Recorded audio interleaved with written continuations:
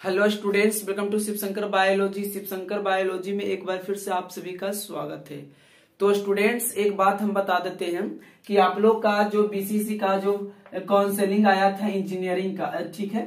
Engineering का जो counselling आया था बीसीसी का अ, 2022 वालों का जिनका जो है 19 नवंबर से जी हाँ बाबू जिनका इंजीनियरिंग का 19 नवंबर से काउंसलिंग होना शुरू था किस कब से था? 19 नवंबर से। तो हम बता दे कि बीसीसी बोर्ड जी हाँ बाबू बीसीई सीई बी यानी बीसीसी बोर्ड जो है उन्होंने एक नोटिस निकाला है कि टेक्निकल प्रॉब्लम की वजह से।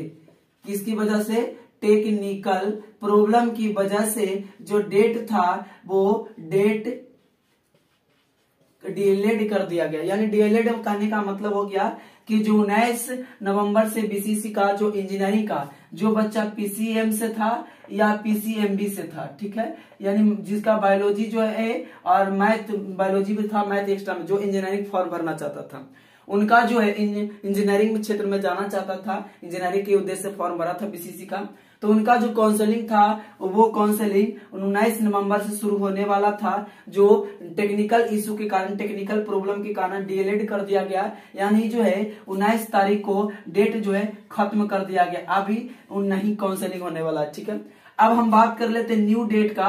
तो बीसीसी बोर्ड ने न्यू डेट के बारे में कहा है कि जल्द ही नया डेट जो है बीसीसी इंजीनियरिंग काउंसलिंग के लिए नया डेट जो है वेबसाइट पे बहुत जल्द ही अपलोड किया जाएगा, तब तक असुविधा के लिए खेद है। ठीक है? समझ में आई बात? यानी उन्नीस तारीख से जो काउंसलिंग होने वाला था, वो अब नहीं होगा। अब नया डेट आएगा, तभी आपका इंजीनियरिंग का काउंसलिंग होगा। मेडिकल का तो अभी कहने नहीं कब होगा तो राम जाने ठीक है? इस वीडियो को शेयर कर दीजिएगा। मिलते हैं नेक्स्ट वीडियो में। तब तक हमारे चैनल पर बने रहिएगा।